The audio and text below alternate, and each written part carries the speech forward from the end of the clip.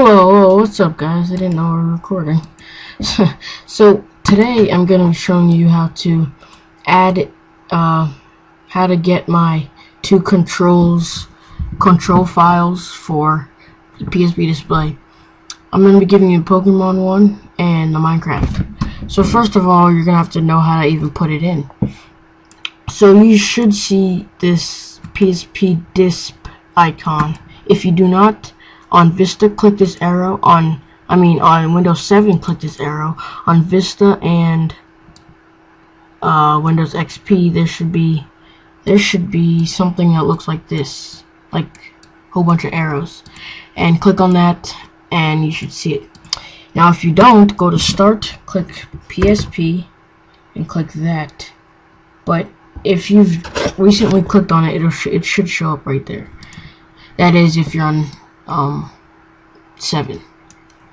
Now, you're gonna go to it, right click, go to control and click customize. Now, now click open control file to modify, add controls.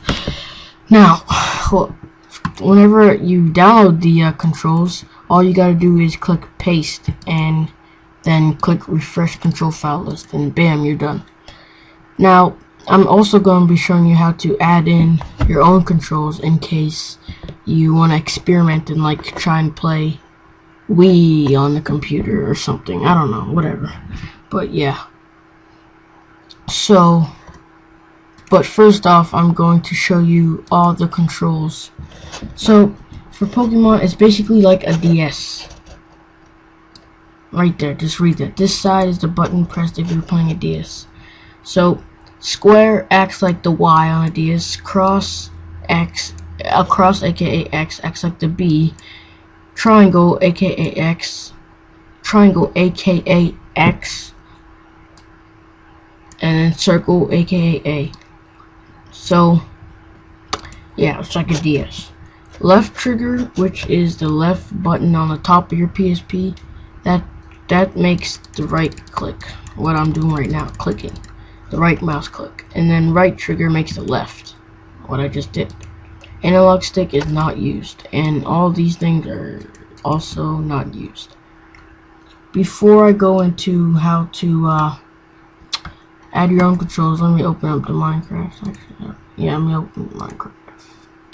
Oh my god, what the fuck? Shit. Alright.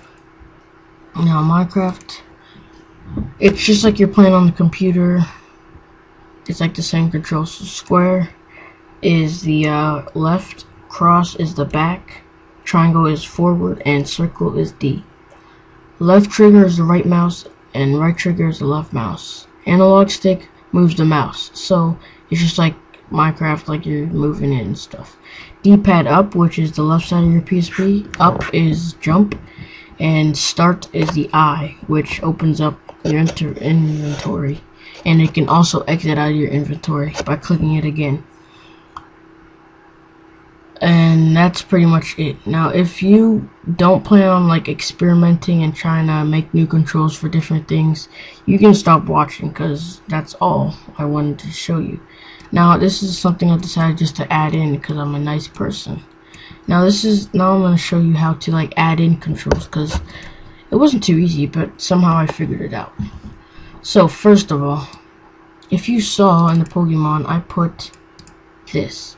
Analog stick mapping is how much the mouse moves.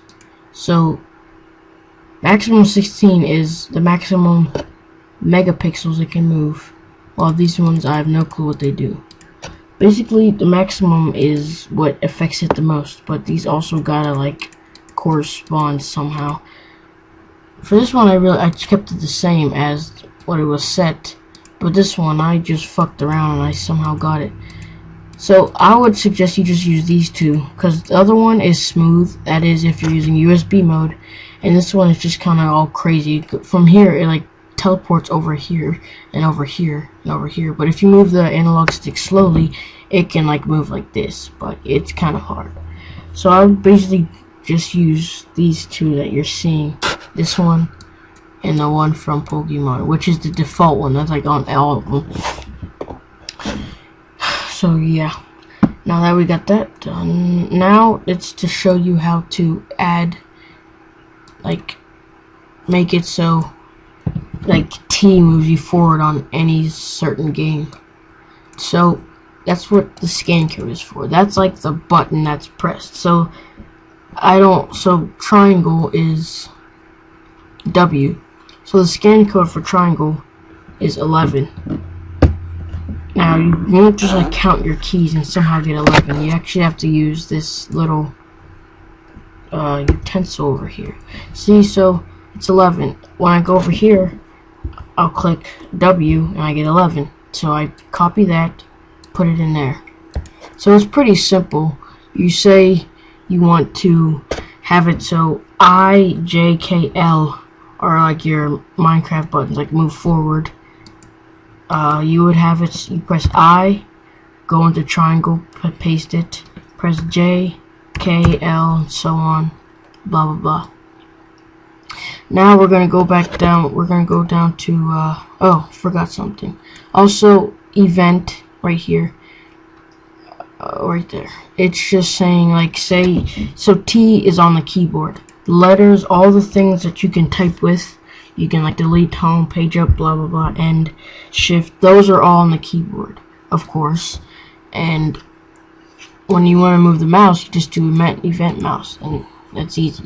Whenever it's the mouse, there's no scan code, and the typematics should either be 0 or 1. It really doesn't matter. You can use whatever. And the button, it'll be like, buttons is the right click or the left click. So, just right or left for that one. And say you don't like how I have it so left is right and right is left, you can easily just go in here, type left, and go in here and type right. And you're done. So after you've done all this, you must close this and click refresh control file list. And if you're on the control file, if you say you added in Minecraft and you're on it, and you're like, you just finished using it and you want to edit it, you're gonna have to reload current control file list also for it to actually like uh, change. Whew, that's a lot of talking. So that's pretty much it with the tutorial, and I hope you liked it, and I hope it helped because is like the fifth time I've done it. And yeah, so that's all, guys. See you later.